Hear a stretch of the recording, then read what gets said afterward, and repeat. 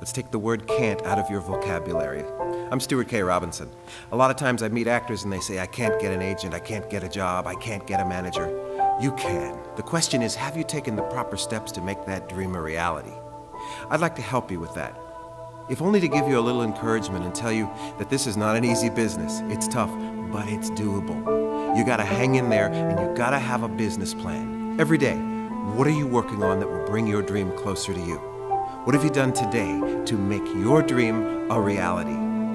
You can do it. Keep going.